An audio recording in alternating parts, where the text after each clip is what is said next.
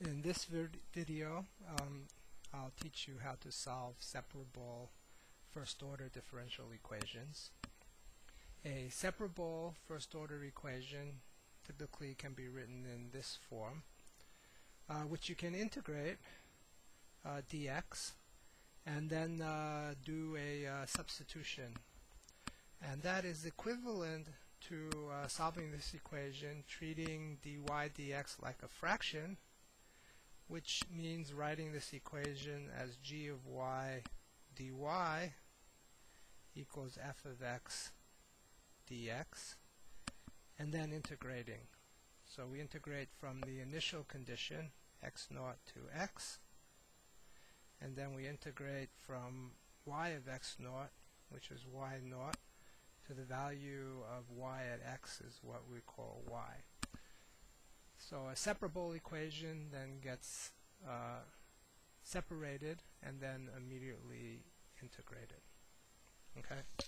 So the way to see how it works is to do a, a quick example. So we have, uh, as an example, dy dx equals some relatively complicated right-hand side, 2 cosine 2x divided by 3 plus 2y with an initial condition y of 0 equals minus 1. So suppose that some, for some reason, some physical problem gives you a, a differential equation that looks like this. So uh, this equation is separable. Separable means now that treating dy dx as a fraction, we can write this as a function of y times dy equals a function of x times dx. Here it's very easy to do just by cross multiplying. So we have 3 plus 2y dy equals 2 times cosine 2x dx. Okay, This is the separation stage. So we've shown that the equation is uh, separable by able to write a function of y times dy equals a function of x times dx. Then we can integrate. x goes from starting from 0, so we can integrate from 0 to x, and then y at x equals 0 is minus 1. y at x is what we call y. Okay, so the differential equation is integrated we may or may not be able to do this integral. In this case, we can. When you can do the integral, then you can usually find an analytical solution for y as a function of x. Not always, but usually. So if we go ahead and we integrate, uh, the left-hand side is a polynomial, very easy to integrate. 3y plus 2y squared over 2 is y squared we'll put in the limits minus 1 to y. We integrate 2 cosine 2x. Uh, you can do that by substitution, or you can just recognize that the derivative of sine 2x is 2 times cosine 2x.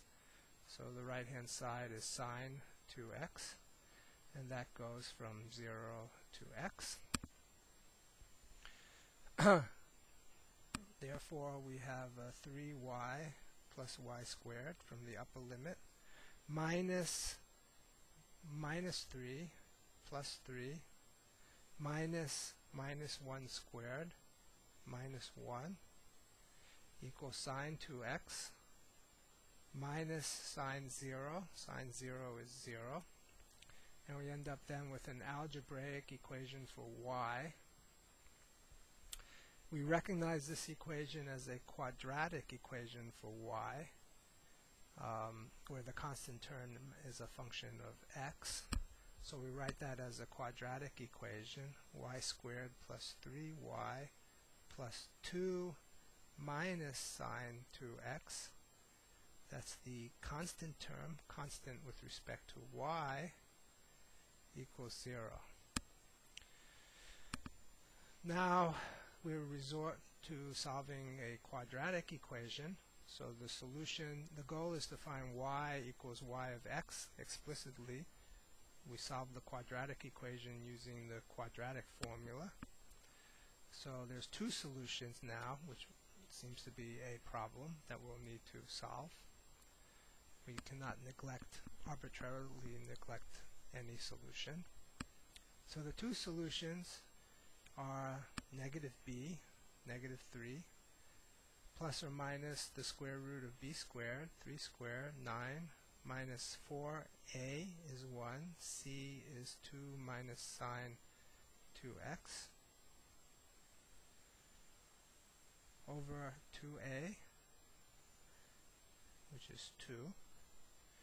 And then uh, it always pays to simplify these things. Minus 3 halves plus or minus 1 half. And then we have, in the integrand, we have a 9 minus 8, which is 1. And then a minus 4 times a minus sine 2x is a plus 4 sine 2x. Okay. So that's the solution to the uh, differential equation. But we end up with two solutions. Why do we have two solutions?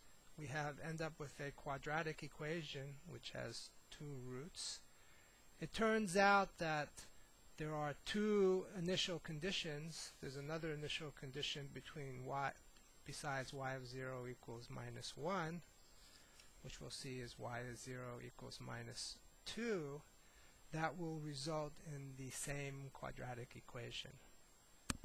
So in order to determine which is our solution, where y of 0 equals minus 1, we have to look to see which of these roots satisfies the initial condition. So we do that, y plus or minus of 0, writing the plus 1 on top, is minus 3 halves plus 1 half times square root of 1. Sine 0 is 0.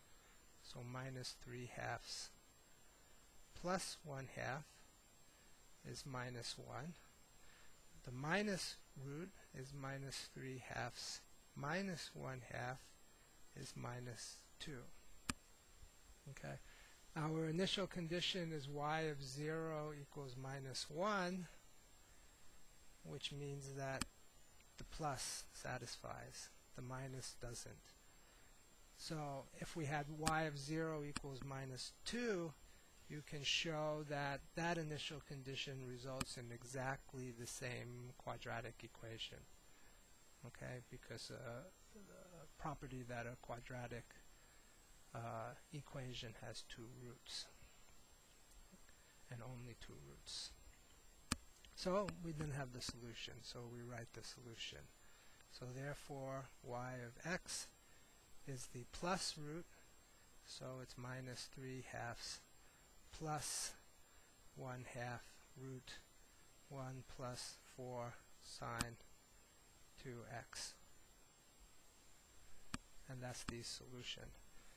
Now, it turns out that this solution is rather has a rather odd property, right? When we start at x equals 0, sine of 0 is 0, so the integrand is 1.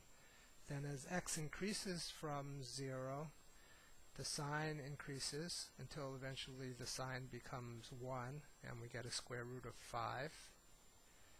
Then the sine will decrease back to 0 and then the sine will become negative. So at some point 4 sine 2x can become negative 1 when sine 2x is negative a quarter. The square root vanishes uh, after which the square root becomes the square root of a negative number and at that point the solution ceases what's happening is as the square root vanishes, y becomes minus 3 halves. When y is minus 3 halves, the denominator goes to 0, so dy dx goes to infinity. So the slope of the tangent line to the curve becomes infinite when the square root becomes uh, turns to zero, becoming negative, and then the solution no longer exists. That's a possible property of a differential equation.